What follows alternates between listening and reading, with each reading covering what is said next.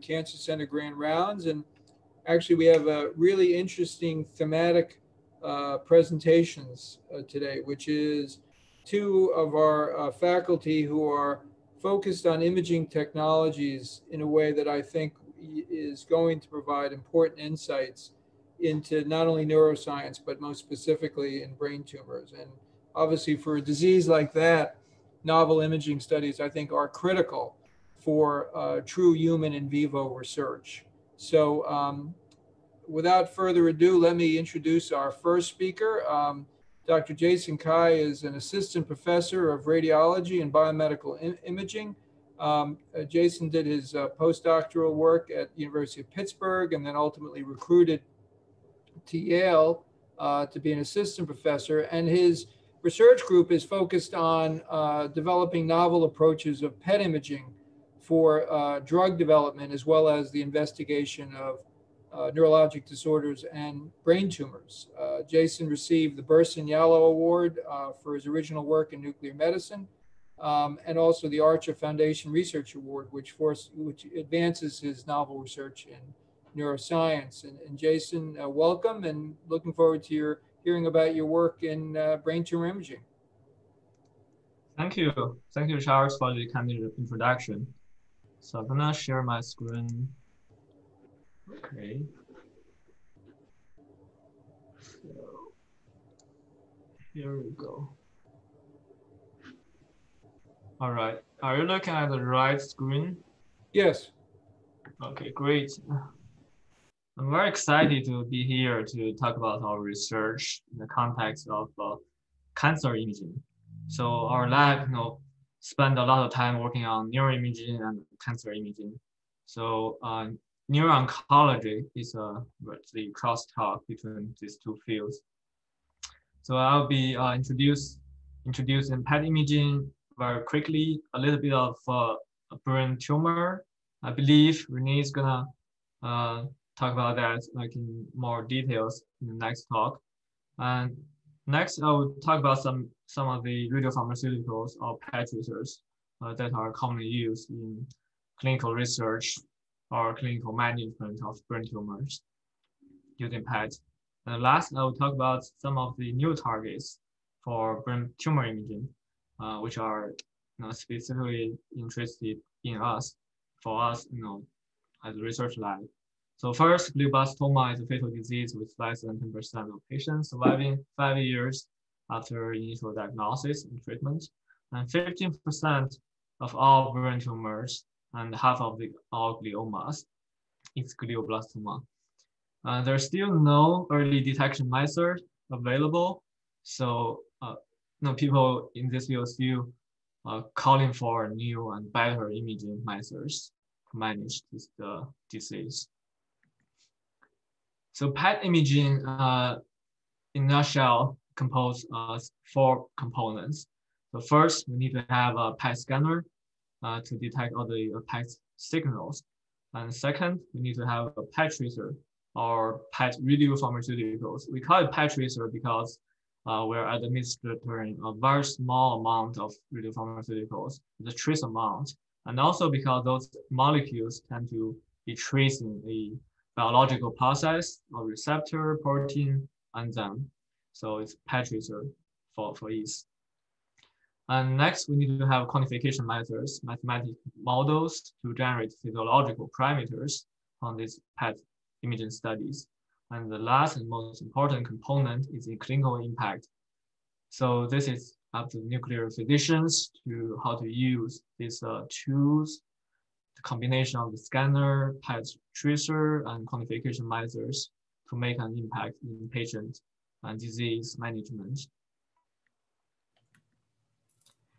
So we just published a mini review on the current radiopharmaceuticals or PET tracers in brain tumor uh, this year.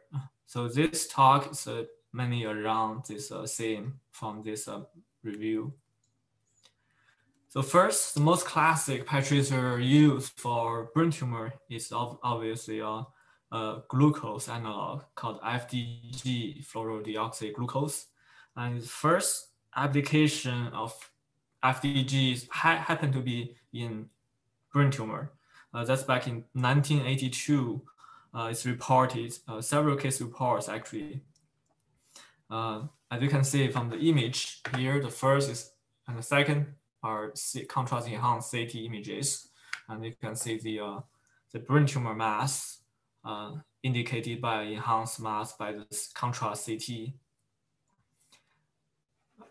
and also from the PET, you, you actually see a hypometabolism uh, because this happened to be a low-grade brain tumors. And later, FDA, FDA approved FDG in 1997. And as you can see at the earliest time, the PET scanner has very low spatial resolution. It's about 1.7 centimeter resolution. And now we have dedicated brain PET scanners up with up to one or two millimeters spatial resolution. So FDG, as you see, it has a high background in the brain because the uh, brain uses sugar as its uh, major metabolism or energy source. Uh, you can see from the gray matter, a high uptake. Uh, well, a lower, but FDG is still useful for grading gliomas because for low grade or benign gliomas, you see a hypometabolism, you, you have lower FDG uptake in the brain region, in the brain tumor region relative to the gray matter. Well, at, at higher grade gliomas, you have a higher uptake for FDG, which is higher than gray matter and white, and white matter. Uh, with a glioblastoma, you, you can have even higher FDG uptake, and also you can you can see uh, there's necrosis core in, in the in the center of the tumor. So based on paper published in 1995, uh, there's a cutoff level for differentiating low grade uh, from high grade glioma, which is 1.5 for tumor to white matter and what 0.6 for tumor to cortex ratio. And nowadays, because of the, uh, the fusion of uh, PET with anatomical radiological imaging methods, such as CT and MR, uh, actually you can use a contrast enhanced anatomical modalities to define the region of interest for the tumor uh, to better quantify uh, the FDG uptake. So uh, because of the high background of sugar analogs, so people in this field have been calling for a uh, PET imaging agents with lower burn uptake uh, than FDG. So that turned out to be uh, amino acids. So amino acids analogs tend to have lower uptake in healthy brain tissues, while higher uptake in tumors because tumor cells overexpress amino L-type amino acid transporters. So the most advanced OC uh, arguably uh, is a uh, methionine, the carbon 11 labeled methionine. Um, so this is essential amino acids that's avidly uptaken by tumor cells, while its brain uptake in healthy tissues or cells are limited.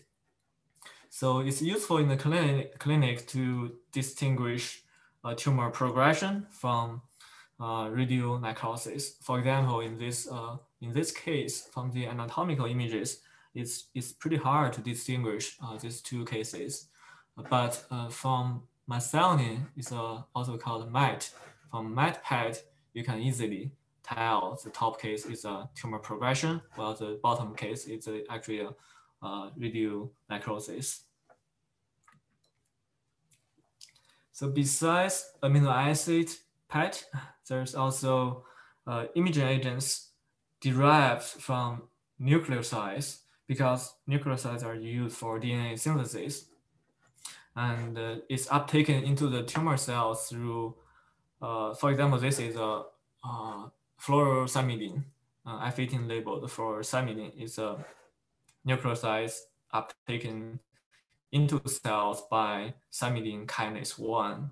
And the thymidine kinase 1 is overexpressed uh, during the, in the tumor cell because it's involved in the DNA synthesis.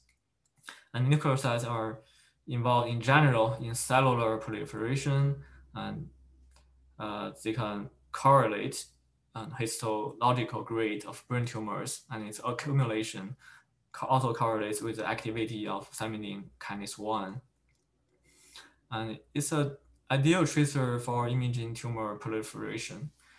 Uh, but also, but also because FLT is not actually is not brain penetrant, it doesn't cross a blood-brain barrier. So in order to have any signal uptake, uh, the tumor's BBB needs to be compromised. So it's not suitable for lower grade uh, glioma imaging. But nevertheless, it, it, it has its role in the uh, tumor imaging PET. So from this case, you can see the contrast, gadolinium contrast enhanced MR images, uh, which can clearly delineate the tumor regions. Uh, you can see the uh, hypermetabolism, sugar metabolism in the center of the uh, tumor, and also methionine uptake in a larger area. Well, from FLT PET, you can actually see not only the tumor, but also the infiltration of the tumor uh, to the brain region. So besides methionine, MET, uh, there are other amino acid analogs uh, being used in brain tumor PET. For example, tyrosine and uh, fluorodopa, F-dopa. F-dopa is actually approved by FDA uh, to image Parkinsonian syndrome back in 2019 uh, because F-dopa reflex is accumulated in dopaminergic neurons and dopaminergic neurons are damaged uh, in Parkinson's disease. But, but there are also a lot of efforts in uh, applying F-DOPA in brain tumor imaging because F-DOPA is also transported into brain tumor cells through L-type amino acid transporters. And once it's inside the cells, it's metabolized into DOPA and it's trapped in the cell. Uh, a recent, a relatively recent PET tracer for uh, amino acid imaging is uh, fluciclovine. This, this tracer is approved by FDA in 2016 for imaging recurrent prostate cancer, but there's still great effort in applying this tracer in uh, glioblastoma imaging. And actually the uh, tumor uptake of F18 fluciclovine in correlated well with uh, brain tumor imaging through MET, methionine. Um, and it's actually useful when the MR, you know, contrast enhanced MR is non-diagnostic, uh, but still based on the, preliminary data we have in the, for the clinical studies, uh, we can't tell whether the uptake of fluciclovine is solely due to the recurrent tumor or perhaps some of the signals contributed uh, from inflammation and other processes. So further studies uh, is needed to establish the role of this tracer in the management of brain tumor in the clinic.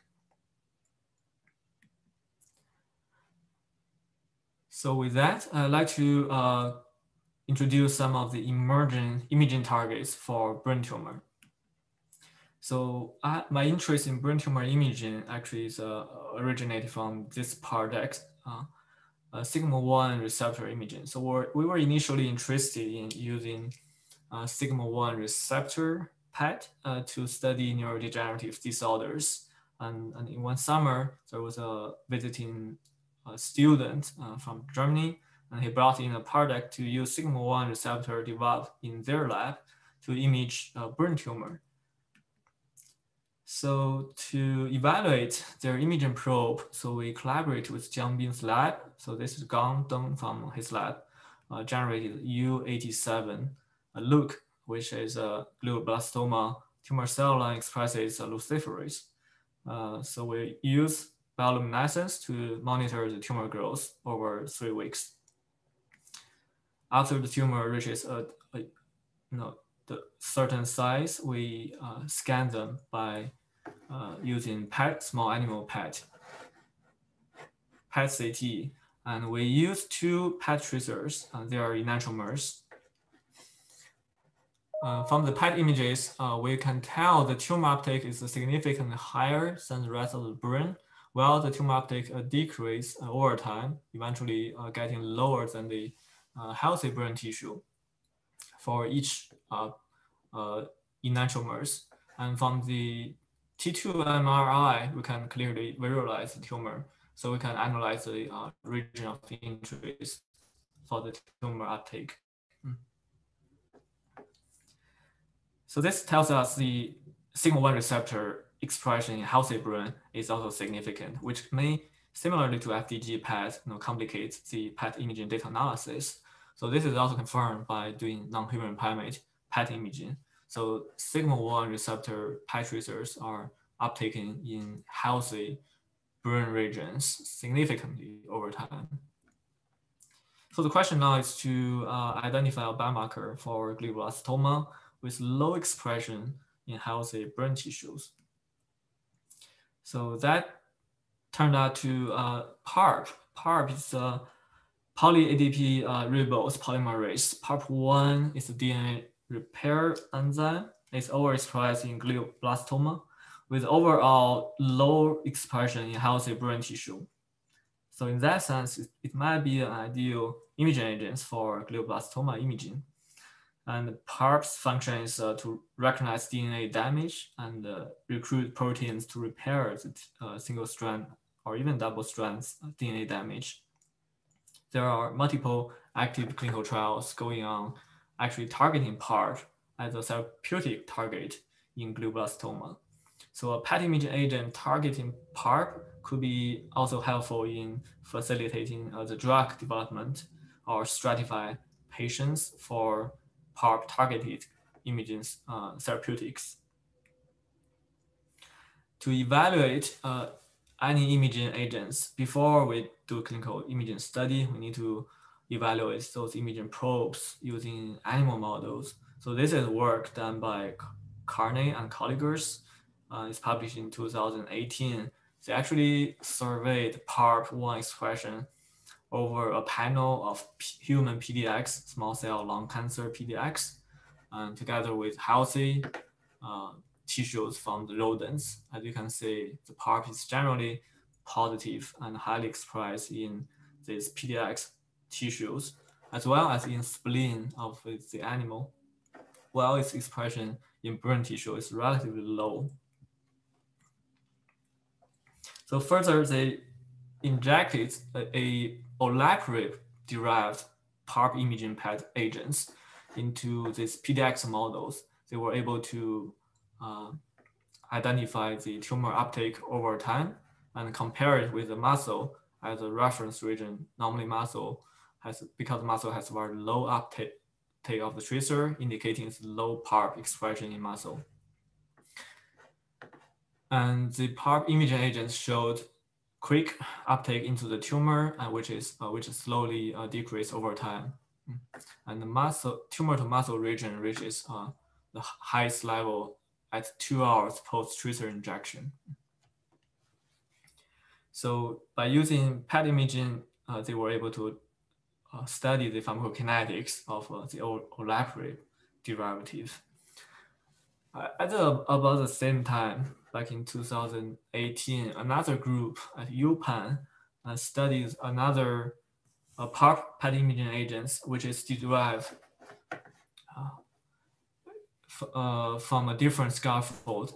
They name it F18 FTT. So they, they did first in human study in, um, they recruited 20 patients and scanned them at the baseline and the patients underwent surgery, so they were able to collect the tissues to correlate the PET imaging results with the uh, immunohisto uh, fluorescence results, as well as autoradiography study. So in this study, they actually showed uh, a panel of PARP-specific uptake in the tumor by PET, as well as uh, immunofluorescence, and a strong correlation between PET SUV values and the fluorescence results, as well as between autoradiography signal and the fluorescence signal. But uh, the PARP expression level doesn't correlate with FDG PET, so FDG cannot be used in place of PARP imaging. So about uh, earlier this year, there's uh, they expanded their clinical trials of PARP-PET into uh, breast cancer patients.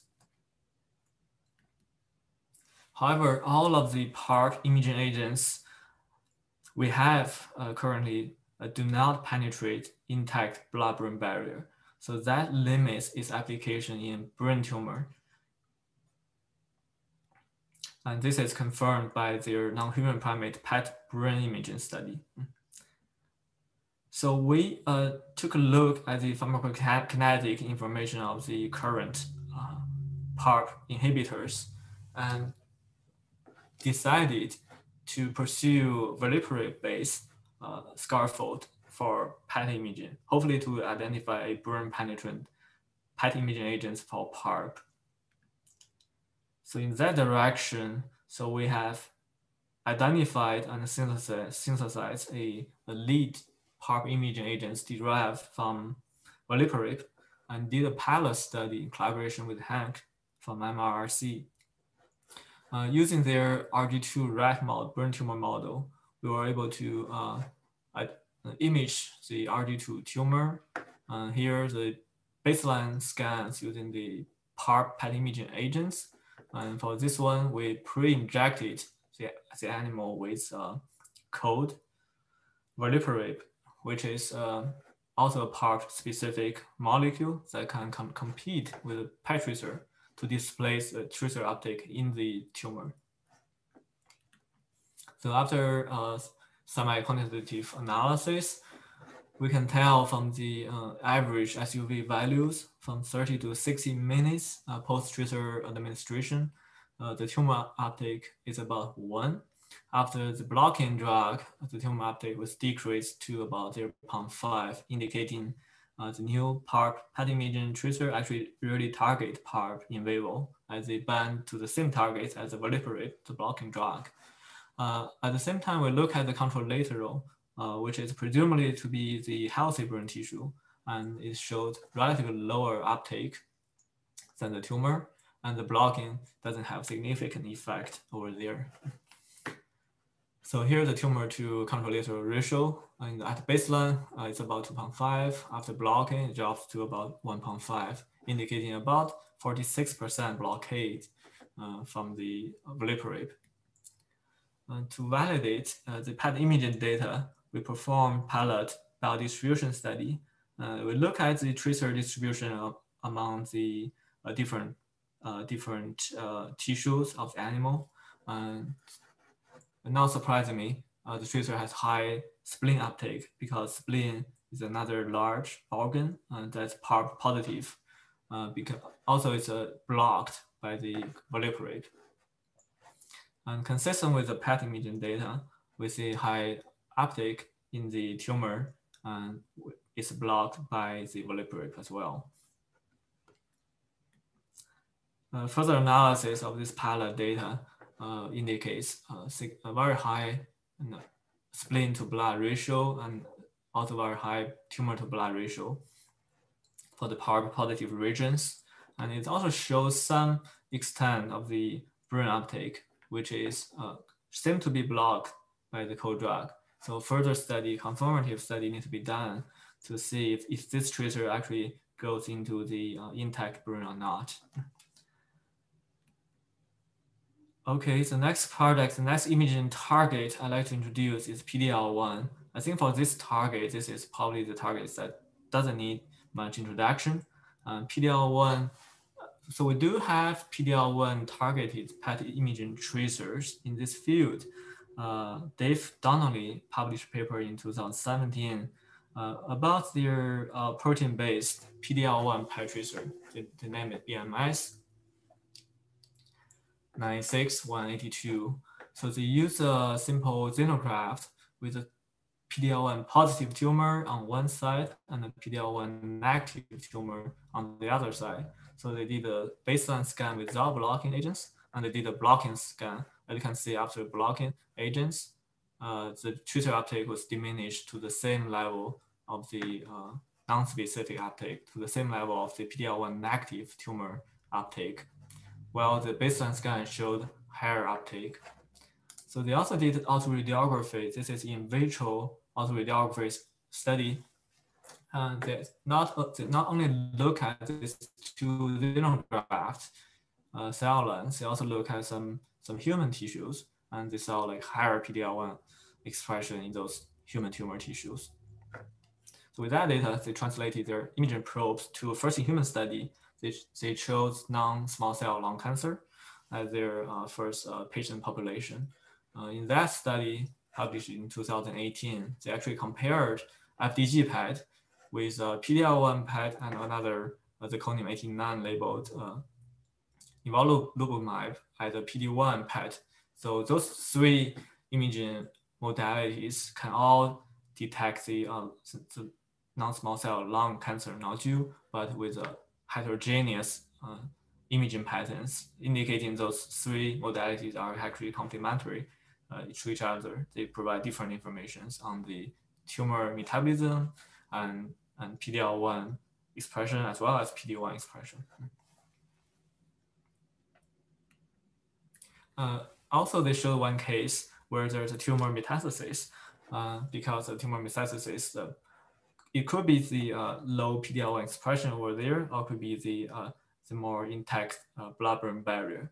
So in order to apply PD-L1 PET imaging in, in tumor imaging or glioma PET, we initiated a project to develop brain penetrant PD-L1 PET imaging agents based on small molecules. So this project is at an early stage. I don't have animal data to uh, share with you. So I'm gonna just uh, say very briefly uh, the, the process for discovery and development of radiopharmaceuticals or PET research. So if you look at this process, it's actually very similar to the R&D process of a therapeutic drug. You, you need to identify a target, uh, clinically relevant biomarkers, and you need to do MedChem to develop small molecules or macromolecules, uh, specifically binding to the target. Uh, after in vitro assay and in vivo assays using patent biodistribution, uh, you can move on to the toxicity and the dosimetry study and file an IND application. After doing clinical trial, initial validations and clinical trials, uh, finally reach to FDA approval. So I, I'd like to use uh, uh, the last few minutes to uh, update you the latest advancement in the PET scanner because PET scanner is a critical component in the PET imaging research. Uh, so very excitingly, recently we saw a prototype for total body PET. So traditionally, the PET scanner uh, we need to move the, bed to get the whole body PET imaging study done. But with the total body PET, uh, we can collect all the em emission uh, signals from the patients. So that means significantly increase uh, some detection sensitivity, and we, we, which allows much lower dose for, uh, for the patient. So supposedly we can reduce the, uh, the, uh, the radiopharmaceutical injection, the dose by 40 fold.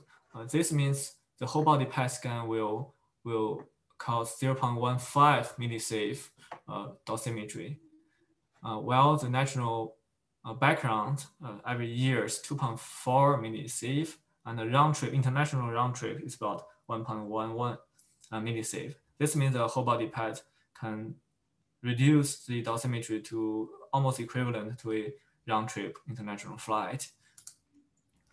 And also with the whole body PET scanner system, we can study the uh, diseases at the systemic level. So looking at the cancer uh, throughout the body. So in summary, uh, so PET imaging and uh, potentially uh, application in glioblastoma is to demonstrate the phenotype and disease severity correlations. And hopefully, you'll be able to discover new therapeutic targets based on more uh, imaging, clinical imaging studies.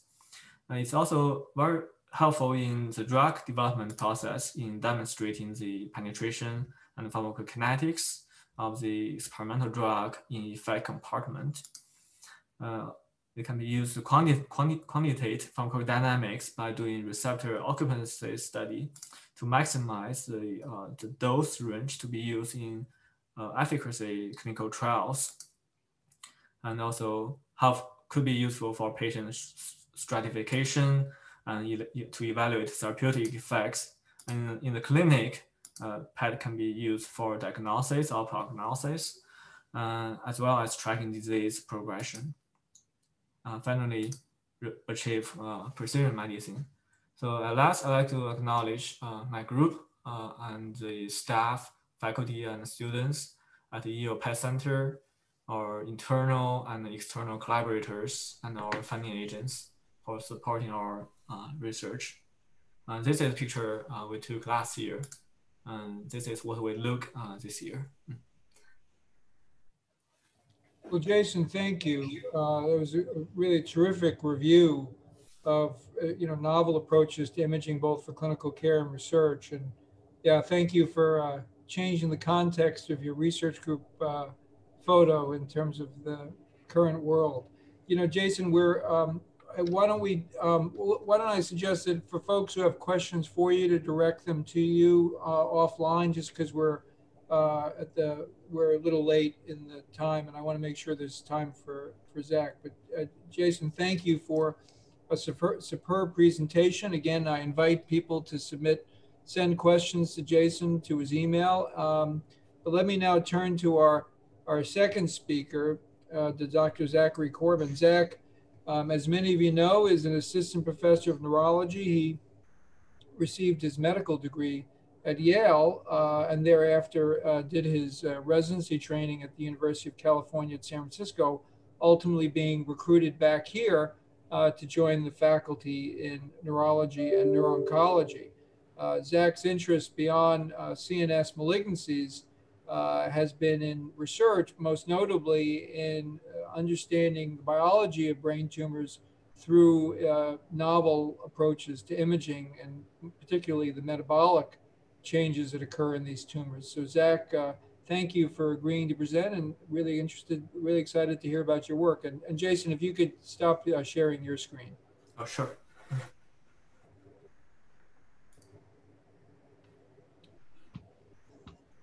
Perfect. Thank you very much. Let me start by sharing my screen.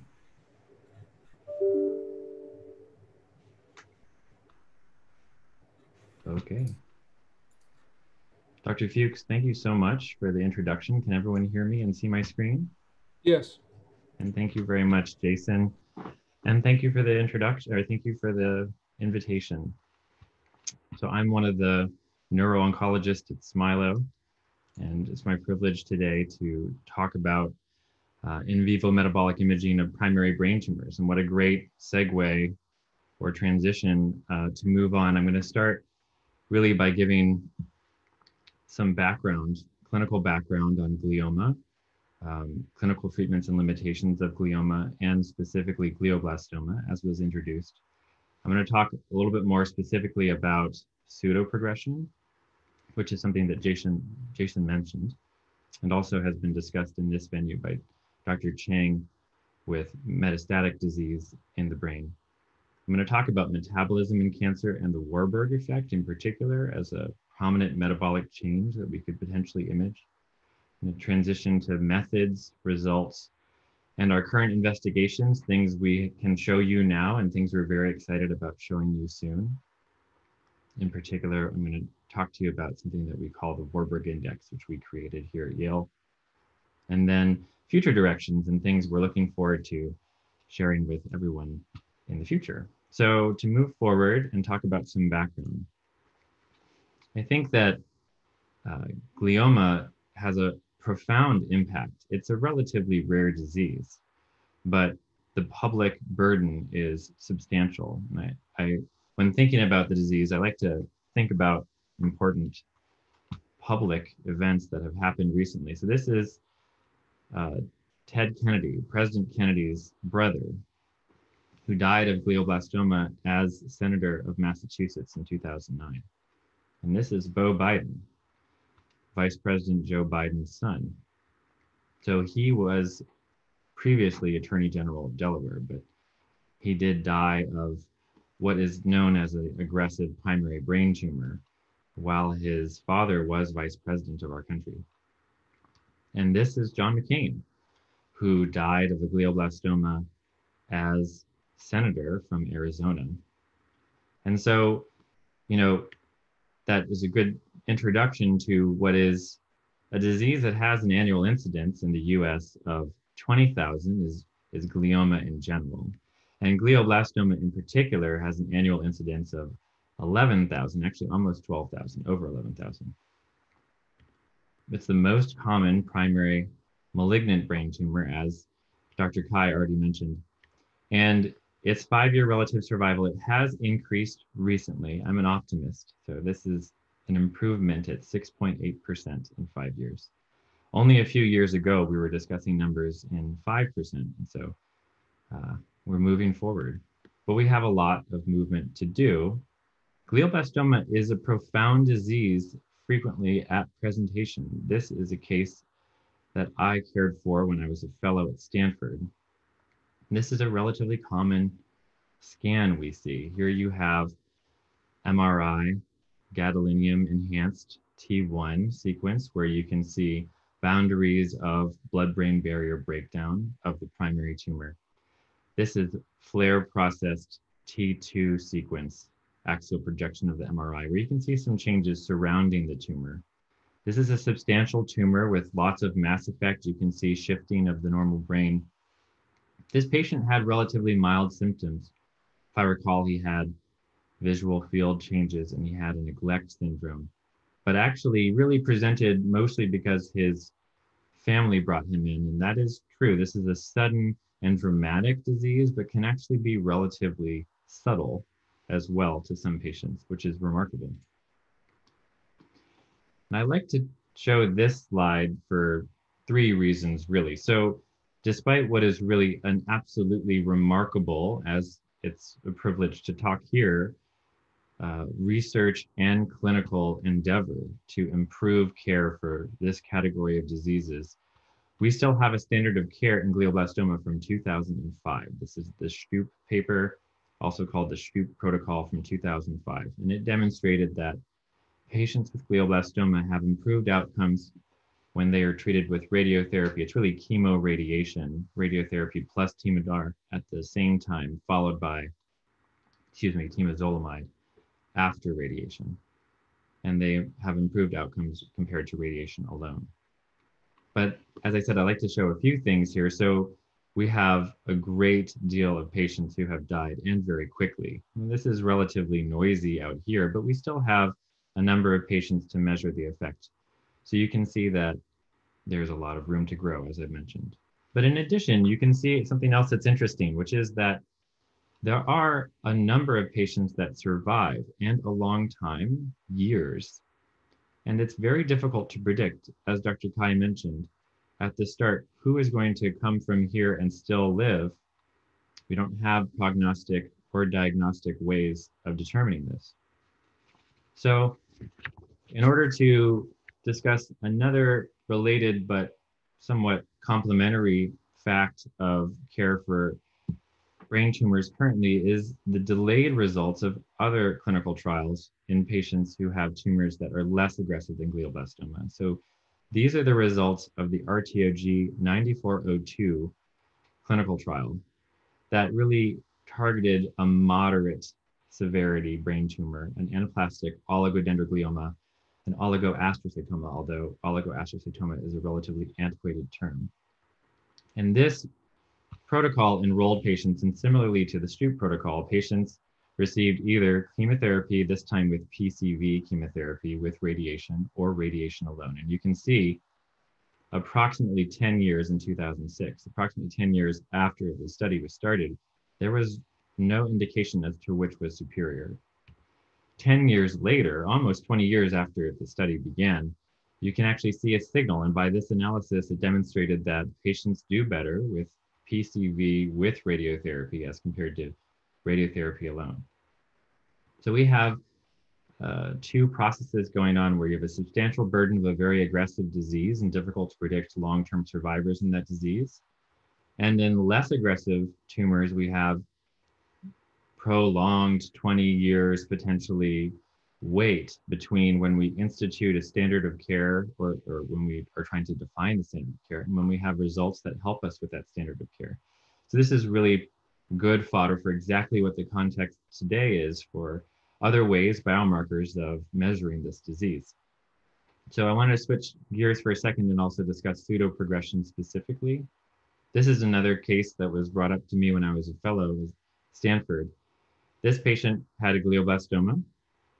He underwent treatment, and then this is very similar uh, pictures as I've shown you before. So gadolinium enhanced MRI and FLAIR T2 MRI, and you can see tumor here.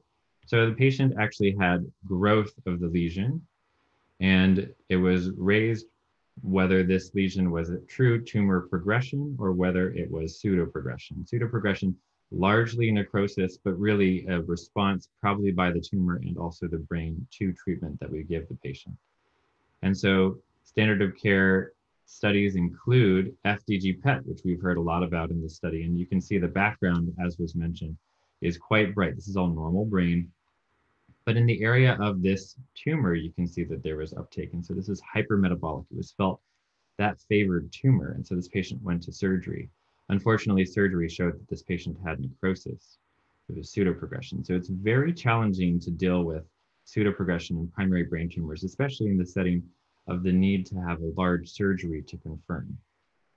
So one of the potential areas to expand our knowledge is imaging. And really, imaging has moved forward with the overall understanding of cancer, which has been maybe 100 years ago an anatomical disease, tumors, balls that are growing, to physiologic disease, tumors that acquire blood vessels and other changes as they grow and become more aggressive, to really what is a metabolic disease, where there are fundamental, likely metabolic changes that might be the nidus of cancer and certainly are associated with aggressive disease imaging has really moved forward with our understanding anatomical. So first we were able to, just as we showed here, see the tumor ball. Then we learn much more about the tumor by things like perfusion imaging, which can tell us a great deal about the heterogeneity, especially of aggressive primary brain tumors. And metabolic imaging now has become at the forefront where we might be able to do many things. Potentially, I'll show you, do some prognosis, and diagnosis, but in addition, potentially treatment effect measurements. So to understand a little bit more about how we could use metabolism in this way, I want to talk a little bit about the Warburg effect in particular. This is probably the most famous metabolic change that is known to occur in cancer and in primary brain tumors in particular. To take everyone back to biochemistry, here is a cell, and this is the cell membrane. And so there's glucose outside the cell, and as glucose comes into the cell, one of the large junctures is pyruvate, and pyruvate can get processed basically into oxidative phosphorylation in one direction. And in that direction is mediated largely through the mitochondria. You have evolution of CO2. In the aqueous cytosol, it really transfers back and forth to bicarbonate. However, uh, glycolysis is also a, a potential route for, for processing of pyruvate, and the end result is lactate in glycolysis. And so the Warburg effect is in the absence of any other uh, stressors, including normal blood flow, tumors are known to favor glycolysis. They shift to lactate, they produce more lactate, and they uh, undergo less oxidative phosphorylation. And in this diagram, as you move further to the right, you have more Warburg effect. This preference for glycolysis seems unusual initially. However, there's really a lot of reasons why tumors may benefit hydrocarbon backbones and also redox species may be usable in biosynthesis, especially through the pentose phosphate pathway to produce more tumor. In addition, energy production and also really more simpler energy apparatus is less vulnerable to the oxidative damage that occurs in tumors and in normal tissue. The resulting acidic environment is important for many physiologic changes related to tumor, including tumor invasion, excuse me, and also immunosuppression. So immune cells less able to attack the tumor in the acidic environment and also normal tissue less able to survive. It's been linked to tumor aggressiveness already. And so really is a great target to image.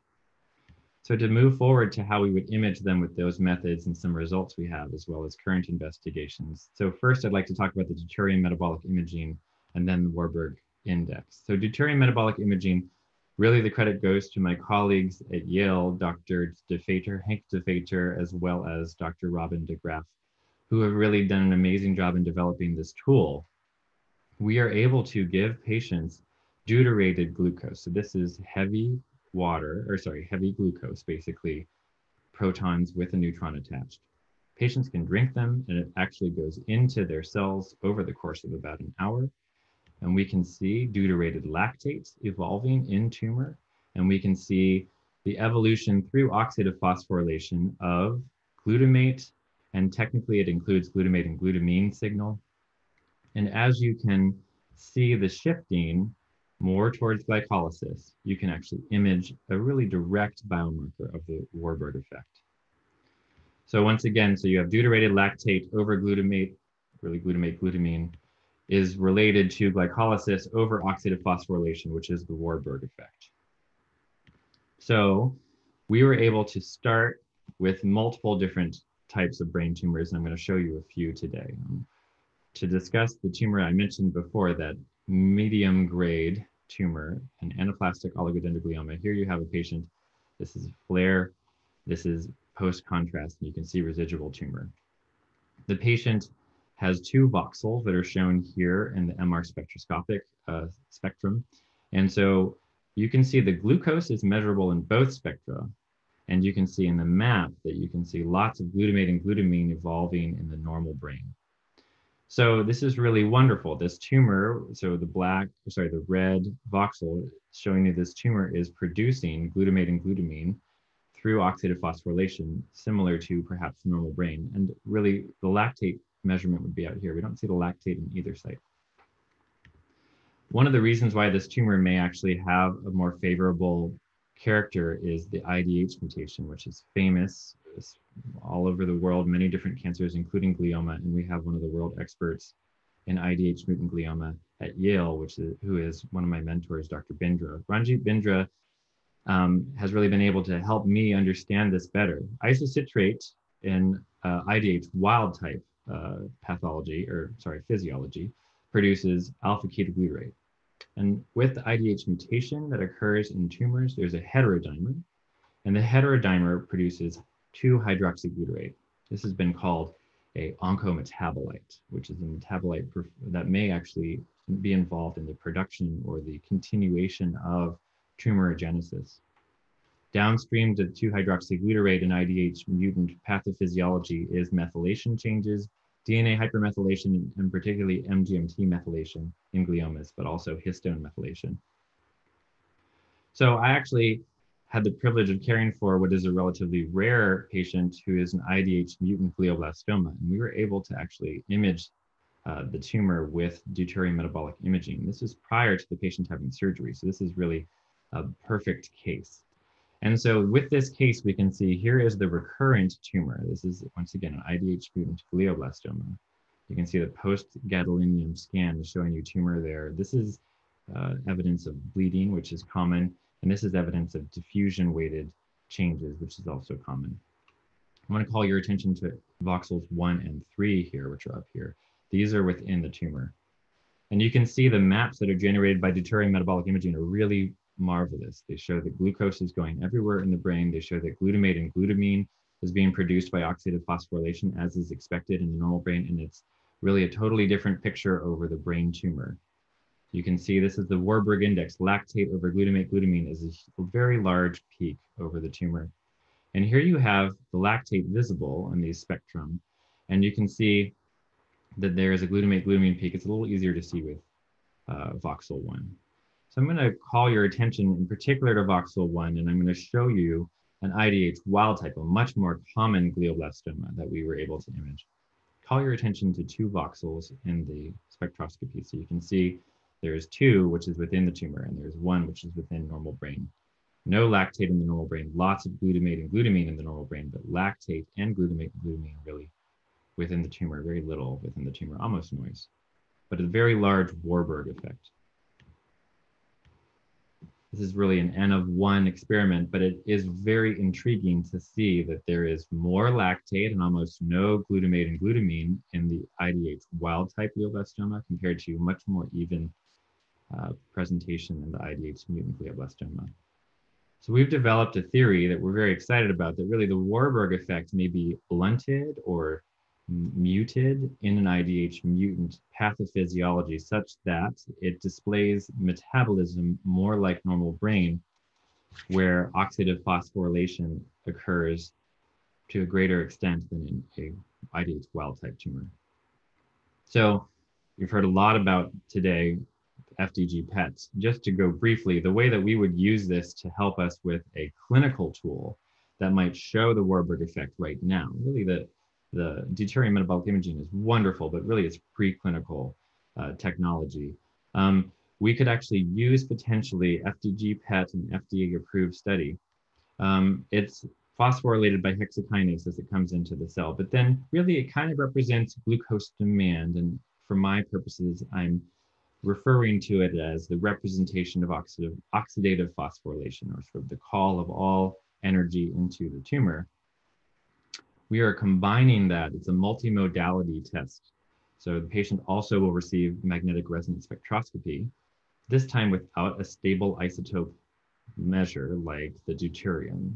And we'll be able to measure lactate, which we can measure in the clinic, actually in brain tumors. In the research context, we can also measure 2-hydroxyglutarate, which will be very interesting in the study to correlate the IDH character of the tumor, if you will, and the, the other uh, measures, including the Warburg index. So the Warburg effect being measured with a multimodality image where we have lactate by MR spectroscopy over the standard uptake value with FDG PET. And we are saying that that should be relatively equal, hopefully, to glycolysis over phosphorylation, which is the Warburg effect, but we're labeling that the Warburg index, because this can be a tool that we could use now in the clinic. So we're looking forward to starting soon as we transform into a normal process of enrolling patients in observational clinical trials. We'll have uh, cohorts of 17 and 17 IDH mutant gliomas and IDH wild type gliomas, and we'll be performing MR spectroscopy imaging uh, with protons, no label, and measure lactate and 2-hydroxyglutarate in all of these patients. And we will also perform FDG PET and, and determine the sort of overall glucose demand, energy demand from the tumor. Hopefully, we'll be able to enroll these patients in more technical studies where we'll have really a, a, a research standard of the Warburg effect through things like the deuterium metabolic imaging stable isotope methods at the same time. We all work together, and Dr. De Feyter is one of my closest collaborators. And we will then follow this cohort of patients to produce our own clinical outcome measures. Especially, I'm interested in progression-free survival and overall survival, which will be diverse in this group of patients, where some patients will have an IDH wild-type tumor, more similar to a glioblastoma, as I've shown you here, and some will have an IDH mutant tumor, more similar to these long-term uh, patients that have very slow-growing tumors. We will also, through collaborations with Dr. Murat Günel's laboratory be able to perform whole genome methylation studies in all of these patients. So we'll have an extraordinarily diverse and deep data set where we'll be able to potentially use preclinical Warburg effect measures to compare to clinical Warburg index measures, compare both of these measures to clinical outcomes, and then also in a vein of precision medicine implications, be able to show exactly how much perhaps 2-hydroxyglutarate is being produced by the IDH mutant pathophysiology, and then what the implications to the methylome and the methylation of the genome is. So future directions, we have actually recently been able to, to image a patient within their treatment. So I've shown you once again IDH mutant glioblastoma, and I've shown you IDH wild type glioblastoma. They're relatively similar appearing if you're not looking at the spectra per se. It looks like very large Warburg effect, classic aggressive tumor. We had a patient who had a glioblastoma shortly following chemoradiation, and when we imaged this patient, we were unable to detect a Warburg effect. And this is very exciting.